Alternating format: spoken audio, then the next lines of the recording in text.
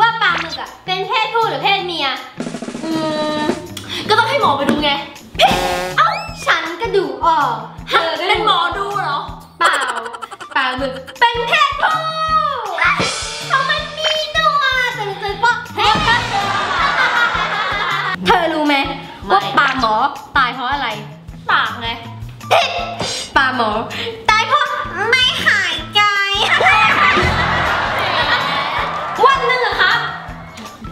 ครับครับครับครับผมอะครับเห็นเชอรี่เนี่ยเดินไปกระโดดน้ำตก